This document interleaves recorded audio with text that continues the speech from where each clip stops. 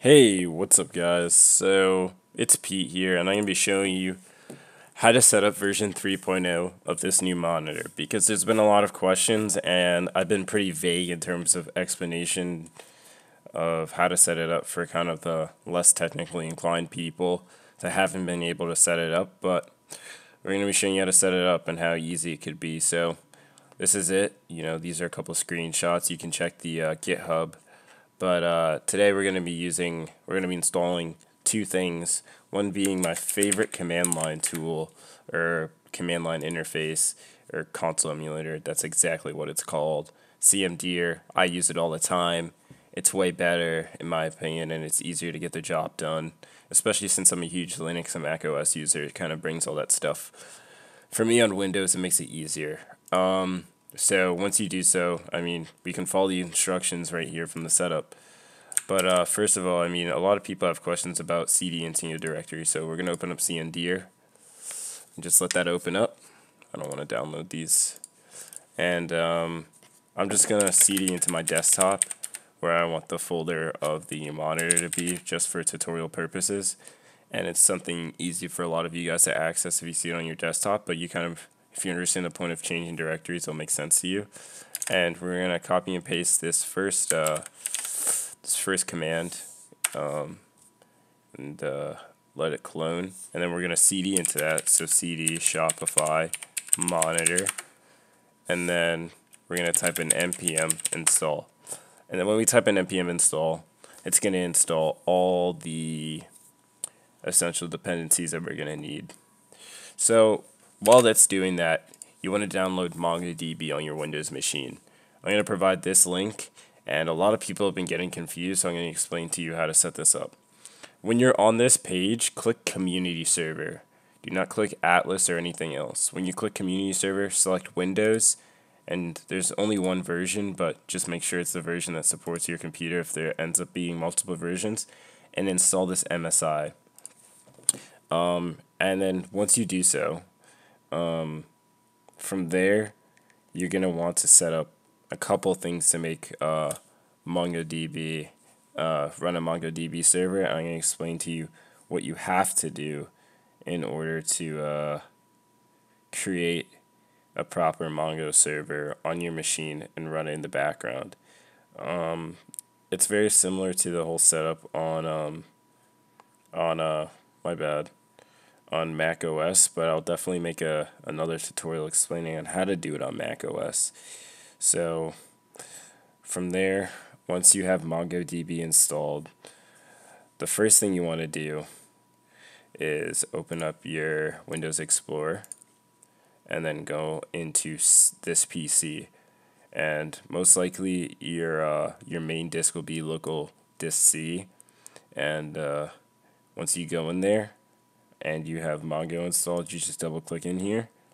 And what we're going to do first inside this directory, my bad, is we're going to make a folder called data. So you can right click, make a folder, call it data. I already have one, so there's no point of doing that.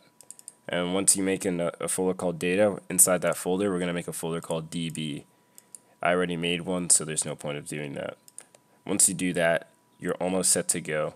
So what we're going to do here is we're going to, uh, whoopsie, we're going to uh, make another window. So I'm just going to right here, click, right click here, click new, uh, new tab. I'm just going to do the right so you can see what's going on. And uh, we're going to type in cd space, and then we're going to go back into, I'm going to try to make this as easy as possible. We're going to go into this PC again, local local disk C, program files, then we're to go into MongoDB right here. We're to click server. I'm on version 3.6, so you're definitely to see the version that you installed, and there's probably to be one folder. Likewise, if you've never installed Mongo before, we're to click 3.6, and we're to click bin.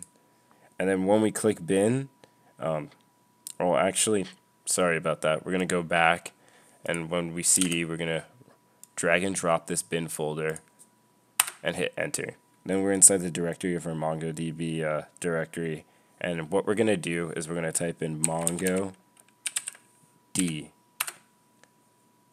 And like that, you have a running MongoDB server. And one thing that might confuse people is what support of their MongoDB server, where is it being ran, yada, yada, yada.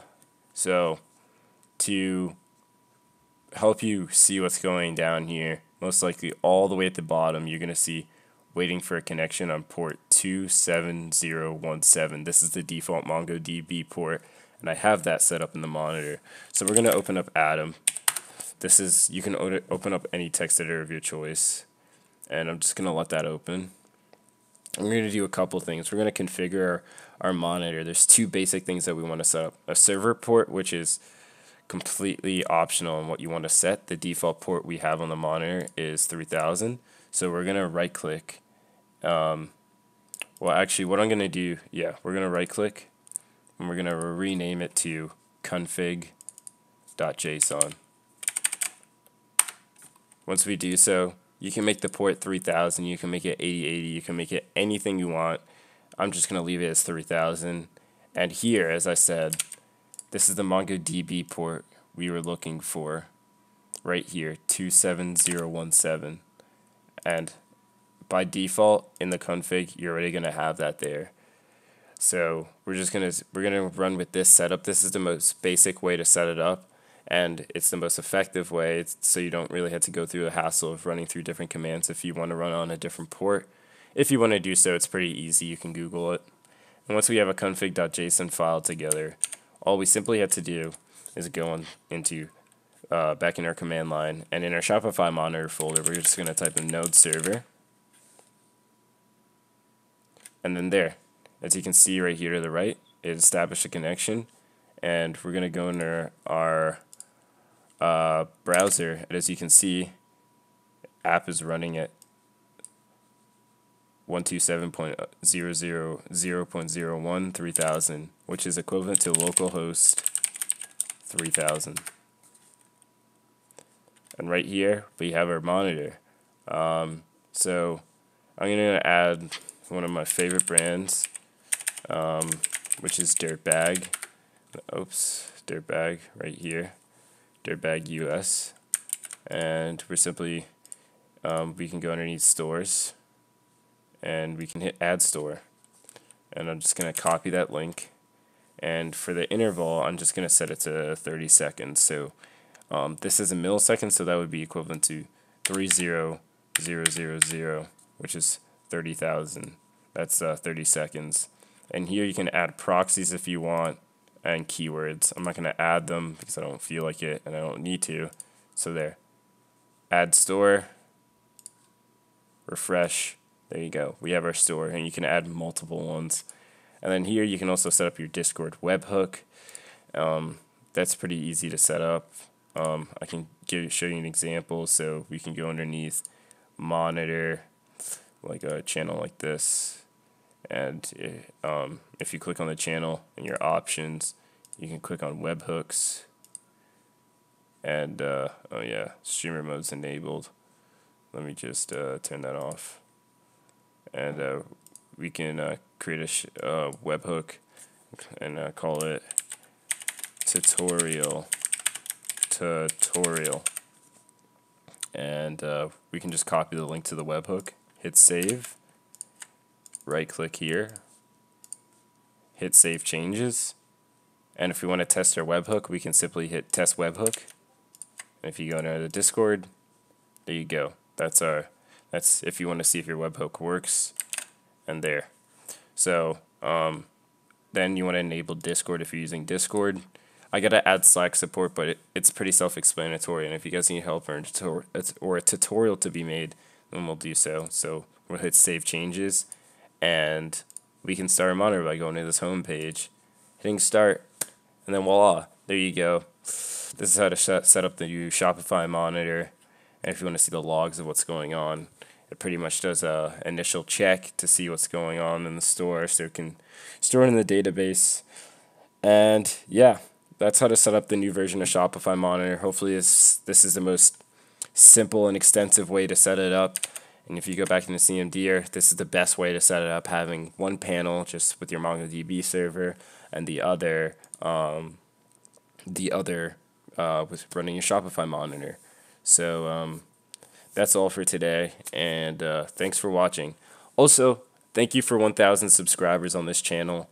Means a ton to me, and I definitely plan on doing more things and starting a series on how to actually make things of this nature, bots, scripts, or whatnot. So that's going to be awesome. Hopefully, when I have the time during break, I'll do so. I've been so busy getting ready to do my SATs and um, just do a lot of school stuff right now. So I'm just going to make sure I get that done so I can balance my time out. But thanks for watching again, and peace.